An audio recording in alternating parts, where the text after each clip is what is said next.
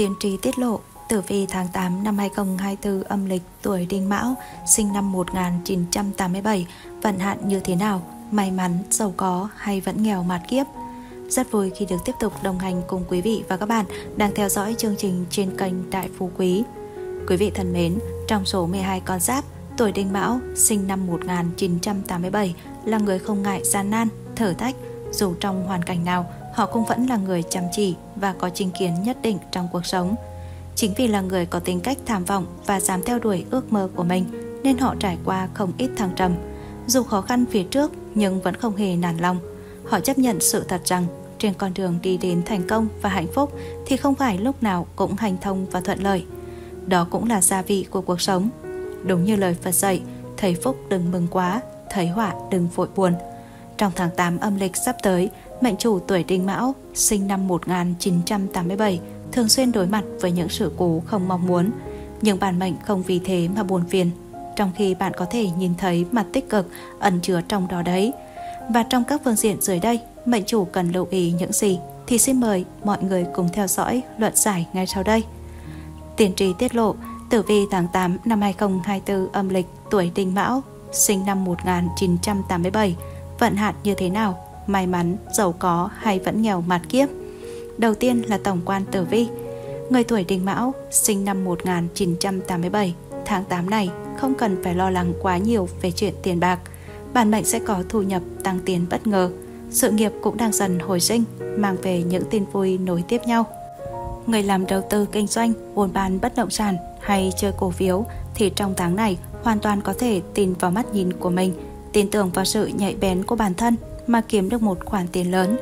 Bản mệnh có thể mở rộng quy mô kinh doanh sang lĩnh vực mới, tìm cách thu hút lượng khách hàng mới, từ đó thu về lợi nhuận ở mức tốt hơn.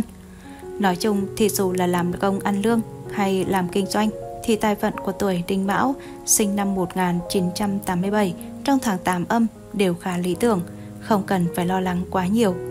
Trong công việc, bản mệnh cũng gặt hái được không ít thành công, nên lưu ý dành thêm thời gian cho các mối quan hệ xã giao, giữ hòa khí với đồng nghiệp để dễ dàng hợp tác, làm việc trong tương lai. Cụ thể về sức khỏe, ảnh hưởng của tứ hành xung nên sức khỏe của con giáp tuổi đinh mão sinh năm 1987 không thực sự được đảm bảo.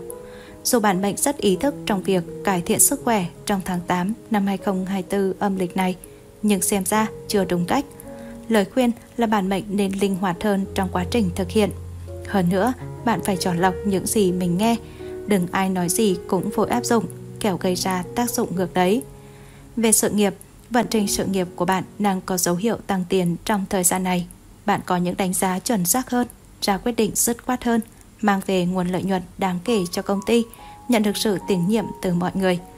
Trong công việc, bạn nên nhớ giữ chữ tín, luôn đúng hẹn thì sẽ luôn được đối tác ưu tiên khi lựa chọn trong làm ăn. Thậm chí bạn có thể chịu thiệt một chút nhưng miễn là đảm bảo chất lượng, thời gian cho họ thì điều bạn nhận được về đó là niềm vui cùng rất nhiều lợi ích lâu dài phía sau. Nếu có cơ hội, cứ mở rộng mối quan hệ. Mới đầu có thể chưa hiểu, nhưng khi trở thành người bạn thân thuộc, có thể tin tưởng nhau, thì việc hợp tác trong công việc cũng nhờ đó mà thuận lợi hơn. Hứa hẹn là tài ngoại giao sẽ mang đến cho bạn những cơ hội bất ngờ cho sự nghiệp thăng hoa. Với những lĩnh vực mới, đừng ngần ngại tìm hiểu, Biết đâu một cánh cửa khác tuyệt vời hơn đang mở ra trước mắt bạn đấy. Đừng chần chờ quá lâu, kẻo bỏ lỡ vận may đang tới bạn nhé.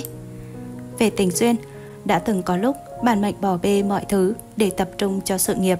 Nhưng may mắn là tháng 8 năm 2024 này, giai đoạn căng mình với sức ép công việc đã tạm lui.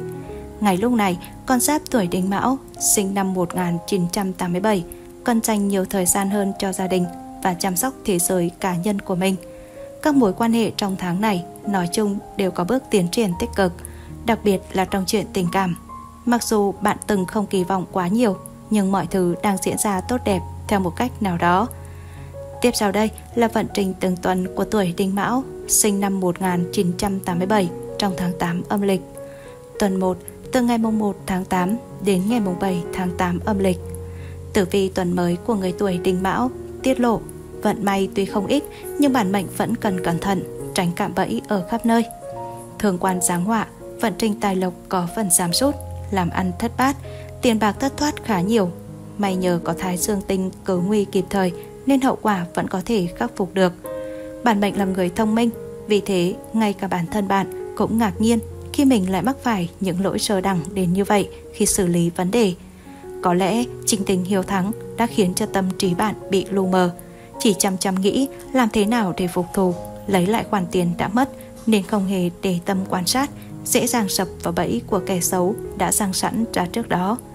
Cấp trên dựa vào những thành tích trước đây và tin tưởng cất nhắc bạn. Nhưng có thể mọi chuyện sẽ tan thành bong bóng xà phòng nếu bạn không chịu tình trí mà cứ để cho kẻ khác chặt chém mình, khiến cho hình tượng bị bôi xấu đi. Tuần 2, từ ngày 8 tháng 8 đến ngày 15 tháng 8 âm lịch.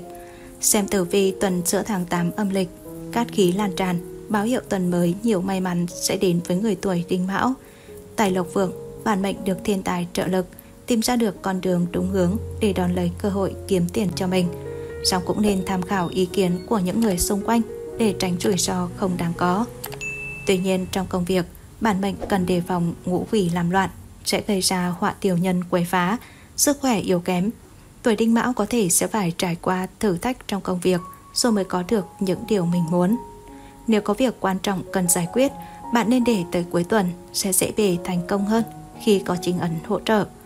Đầu tuần, tiểu nhân không ngừng tìm kiếm cơ hội để khiến cho bản mệnh mất đi vị trí hiện tại mà mình mất khá nhiều công sức mới có thể có được. Tuần 3, từ ngày 16 tháng 8 đến ngày 22 tháng 8 âm lịch. Thời gian này, người tuổi đinh mão đụng độ tiểu hào hung tinh nên đường tài lộc gặp nhiều xó trộn. Có thể sẽ có vài chuyện xảy ra khiến cho con giáp này tốn tiền hao của. Bạn cần chú ý hơn trong chuyện chi tiêu trong khoảng thời gian này. Hãy lên kế hoạch mua sắm cụ thể. Những thứ không thực sự cần thiết thì đừng tốn tiền vào nó. Thời điểm khó khăn do dịch bệnh, tiết kiệm được đồng nào hay đồng đấy. Công việc trong tuần cũng khó được suôn sẻ như mong muốn. Có nhiều khó khăn cản trở khiến cho bản mệnh không thể đạt được những mục tiêu mình đã đề ra, cũng dễ bị kẻ tiểu nhân thiên quan ganh ghét mà hãm hại. Những chiêu trò cạnh tranh không lành mạnh, đấu đá ngầm đều có thể diễn ra khiến cho bạn rất đầu mẻ trán. Thời điểm này, bạn cũng nên lưu tâm hơn nữa với các mối quan hệ, hợp tác làm ăn. Tiểu nhân gây rối sẽ gây ra những hậu quả khó lường trước. Có thể bạn không có tâm hại người, nhưng đối phương lại đang muốn chiếm đoạt lợi ích của bạn.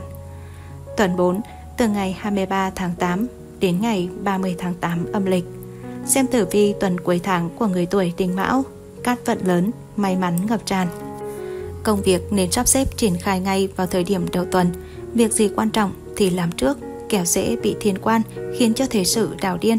Cấp trên có thể nảy sinh hiểu lầm đối với tuổi Đinh Mão và không cho phép bản mệnh được giải thích. Cũng may trong tuần có các tinh thái xương trợ vận nên con giáp này có thể thuận thế mà lội ngược dòng. Quý nhân chỉ lối dẫn đường cho tuổi đinh mão trong khoảng thời gian này có thể là nam bệnh. Đừng để phụ lòng quý nhân giúp đỡ. Tài lộc của tuổi đinh mão chủ yếu tập trung từ giữa tuần đến cuối tuần. Các hoạt động cầu tài như khai trương hay đầu tư, mở rộng kinh doanh chọn vào thời điểm này là tốt nhất – sẽ được hưởng sự nâng đỡ của cát khí, khả năng thành công cũng cao hơn. Sau đây là cẩm năng vượng vận cho người tuổi đinh mão, sinh năm 1987 trong tháng 8 âm lịch. Khẩu quyết, cả nể không soi xét chi tiết sẽ làm hỏng việc lớn. Quỷ nhân là tuổi thìn và tuổi hợi, tiểu nhân là tuổi dậu và tuổi tý. Màu sắc may mắn là màu vàng và màu xanh dương. Con số may mắn là số 22, số 36, số 57 và số 82. Thưa quý anh chị thân mến, Đại Phú Quý luôn đổi mới mỗi ngày để có thể giúp quý anh chị nhận được nhiều giá trị bổ ích nhất. Đi đến video số này rồi, lời cuối cùng vẫn muốn gửi tới quý anh chị về đôi lời Phật dạy. Mong sao qua những lời này giúp anh chị được thành tịnh hơn, tâm luôn bình an. Anh chị hãy nhớ đừng thô bạo với chính cơ thể của mình. Chúng ta thường không bỏ quên bất cứ điều gì, nhất là tiền bạc, vật chất. Nhưng đôi khi ta lại quên mất chính mình với cái thân xác đã đeo mình từ rất lâu. Từ ngày khi chào đời tới nay, cùng mình trải qua biết bao buồn vui và thăng trầm. Chúng ta đã bao giờ nói chuyện với trái tim của mình, đặt tay lên trái tim và nói lời xin lỗi hay cảm ơn chưa? Nếu chưa thì chứng tỏ mình hết sức vô tình và vô tâm. Trong khi đó, trái tim của mình từ lúc sinh ra tới lúc mất đi, nhờ có trái tim mình mới được sống. Nhưng mình bỏ quên thứ bên trong mà chạy theo thứ bên ngoài. Thậm chí hàng ngày mình đứng trước gương để trang điểm, nhưng đó chỉ là những thứ bên ngoài. Kết quả là mình bỏ quên trái tim của mình, bỏ quên lá gan, lá phổi, tất cả bộ phận khác ở trên cơ thể. Khi chúng ta có bệnh tật, đau tim, đau gan, đau phổi, đau mắt hay đau chân, đau tay thì cái thái độ ứng xử, hành động của chúng ta là gì? Đó là oán trách. Đau tim ta trách tim mình, đau gan ta trách gan mình và chúng ta còn hành động thô bạo hơn. Mày đau, tao cho mày hết đau, tao uống thuốc cho mày hết đau, tao chích cho mày hết đau, tao mổ mày cho mày hết đau, tao thay cái khác cho mày hết đau. Đó là chúng ta. Thứ nhất, vô tình. Thứ hai là ác độc.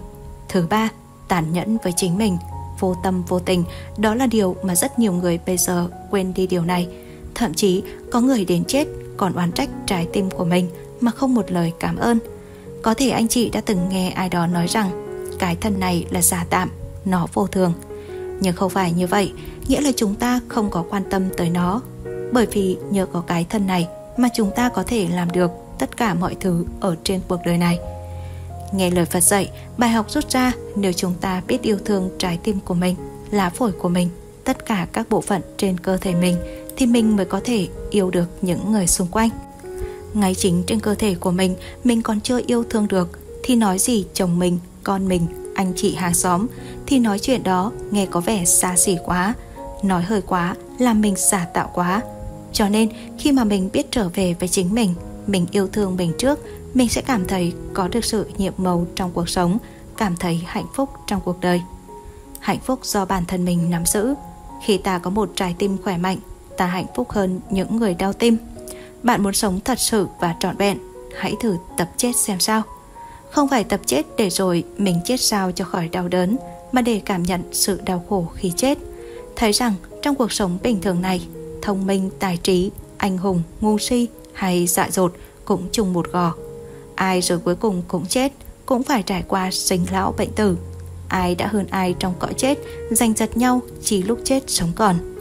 Cho nên khi mình tập được điều đó, mình thấy được rằng mỗi ngày trong cuộc sống vì miếng cơm manh áo mà lo công việc để kiếm tiền.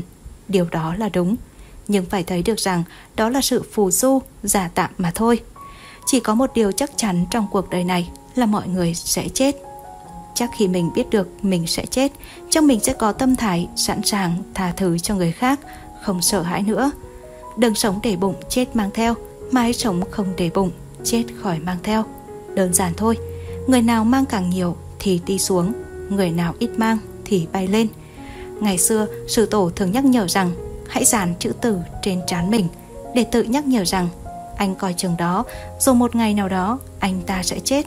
Ta thấy người khác chết, trong lòng ta nóng như lửa. Không phải nóng vì người, mà rồi sẽ đến người ta. Học Pháp là để thực tập, thực tập thì mới thấy được sự nhiệm màu trong đó. Khi mình quán chiếu được như vậy, mình sẽ tự bản thân mình mà nhìn nhận được những điều vô thường của cuộc sống. Lúc đó, mình sẽ thấy rất tự tại. Vừa rồi, Đại phú Quý đã chia sẻ nội dung tử vi tuổi Đinh Mão, sinh năm 1987 trong tháng 8 âm lịch.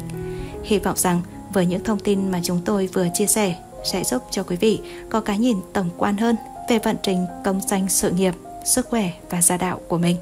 Từ đó có những kế hoạch để có thể chủ động nắm bắt được cơ hội trong tương lai. Quý vị cũng nhớ đăng ký kênh Đại Phú Quý để ủng hộ cho 30 tập chương trình, rồi sau đó nhấn vào biểu tượng chuông để liên tục được cập nhật những thông tin bổ ích mỗi ngày.